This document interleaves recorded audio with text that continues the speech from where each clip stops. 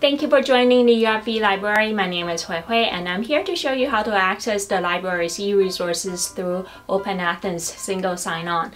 Whether you are on or off campus, you'll need to sign in with your UFV email address and my class password. Once you have signed in, you'll stay logged in for 8 hours unless you switch your browsers, clear the cookies on your browser, or use private or incognito browsing. You'll also need your cell phone handy for the multi-factor authentication if you are signing in off campus. When you search for resources on the library's homepage, you'll be asked to sign in with your UFV email address and my class password.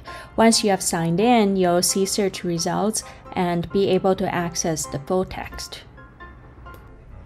If you are signing in off campus, you'll need your cell phone for the multi-factor authentication. Once you've entered your email address and password, click or tap Sign in another way. Select Text. Then check your phone for the verification code and enter the code. You should now be able to access the search results and full text. You can also use your UFV credential to sign into library's e-resources using OpenAthens single sign-on.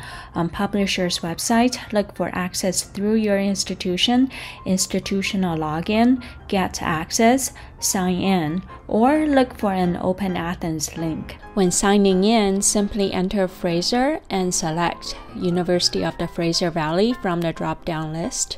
You can then sign in with your UFV credentials. Thank you for joining the UFV library once again. If you have more questions on OpenAthens, please visit our LibGuide on OpenAthens or contact us if you need more help signing in. Bye for now.